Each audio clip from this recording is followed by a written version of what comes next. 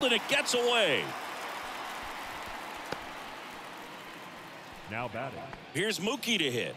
Grounded out his first time. Here we go, kid.